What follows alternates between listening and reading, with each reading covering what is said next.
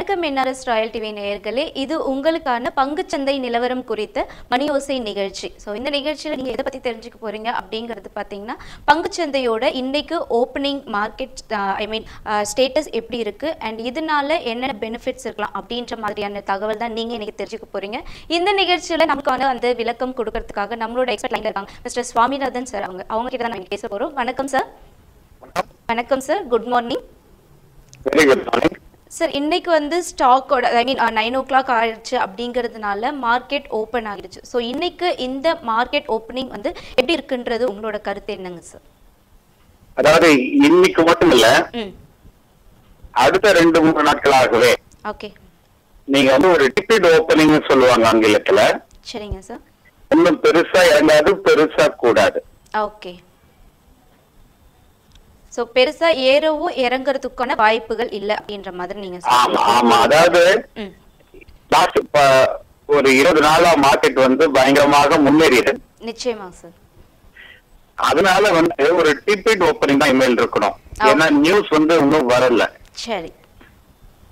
சரிங்க sir and அதாவது பார்த்தீங்கன்னா இந்தியாவோட ஃபுட் கிரெயின் அவுட்புட் இது வந்து இருநூத்தி எழுபத்தி ஐந்து புள்ளி ஏழு மில்லியன் டன்ஸை வந்து இந்த டூ தௌசண்ட் செவன்டீன் இயர் இரண்டாயிரத்தி பதினேழாம் ஆண்டுக்கான எஸ்டிமேட்டட் அதாவது இந்த பவுண்ட்ஸ் வந்து அதிகமாயிருக்கு அப்படின்னு சொல்லிட்டு சொல்லலாம். ஓகேங்களா?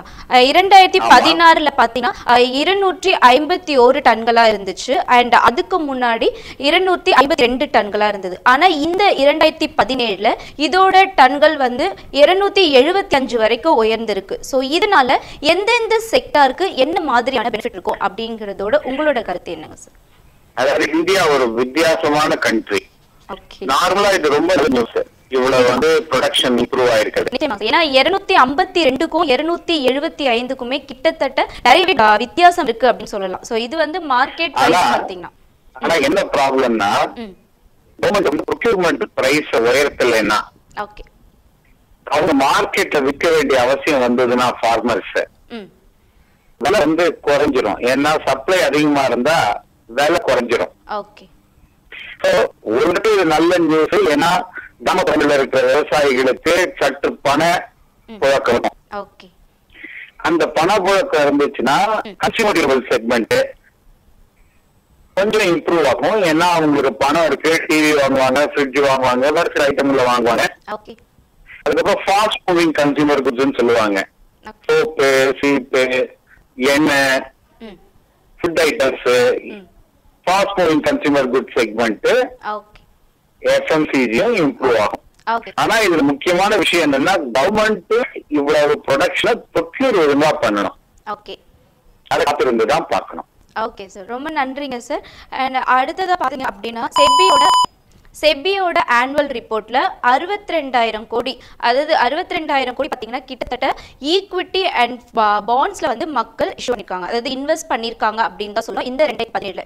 இதுக்கு முன்னாடி ரெண்டாயிரத்தி பதினாறுல பார்த்தீங்கன்னா ஐம்பத்தி ஏழாயிரம் கோடி தான் வந்து இன்வெஸ்ட் பண்ணியிருந்தாங்க. ஸோ இப்போ ஐம்பத்தி ஏழுல இருந்து அறுபத்தி ரெண்டு வரைக்கும் ஈக்விட்டியும் பாண்ட்ஸ்லயும் வந்து அதிகமான இன்வெஸ்ட் இருக்கு. இது என்ன வந்து ஒரு நல்ல விஷயமா இருந்தாலும் கூட சீனாவோட நம்ம வந்து கம்பேர் பண்ணி பார்க்கும்போது இது வந்து ஒரு சின்ன அமௌண்ட் அப்படின்னு தான் சொல்லலாம்.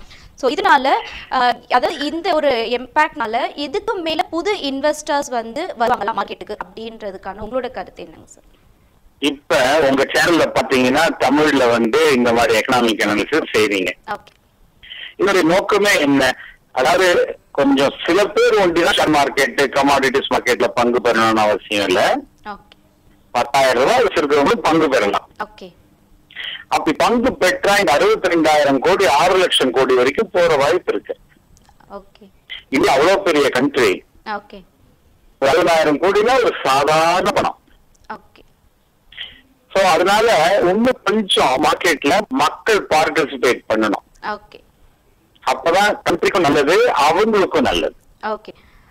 ஸோ இந்த நியூ அதாவது புது இன்வெஸ்டர் வருவாங்க அப்படின்னா அவங்களோட பாண்ட்ஸ் ஆஃபர்ஸ் வந்து எந்த அளவுக்கு உயரும் சார் அதாவதுங்க இப்ப சொன்னா மியூச்சுவல் ஃபண்ட் வழியா வரலாம்.